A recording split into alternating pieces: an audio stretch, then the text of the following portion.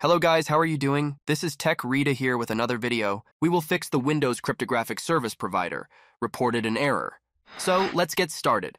Right-click the Start button and select Device Manager from the list. Find your digital signature device. Right-click on the driver and select Update Driver. Now you can choose to search automatically for drivers, or the second option if you already have the correct driver that you downloaded from the manufacturer. Press Windows key plus R and type in inetcpl.cpl. Press Enter to run it. Go to the Content tab and click the Certificates button. Now you'll see a list of your certificates. Select the problematic certificates and click the Remove button. Click Close and then click OK. Close Internet Explorer and all Adobe Acrobat documents. Try signing the documents again. Press Windows key plus I to open the Settings app. Now navigate to the Apps section. Find and remove ePass 2003 software. Restart your computer. When your computer boots, install ePass 2003 again.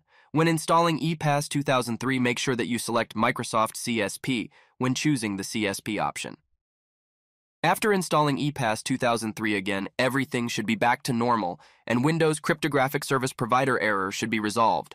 Press Windows key plus R and enter regedit. Press Enter or click OK. When Registry Editor opens, navigate to HKEY underscore current underscore user software, Adobe Adobe Acrobat 11. 0. In the left pane, locate the security key, right-click it, and choose Export. Enter the desired name for your backup, choose a save location, and click the Save button. If any new problems appear after modifying the registry, you can just run the file you created in order to restore it.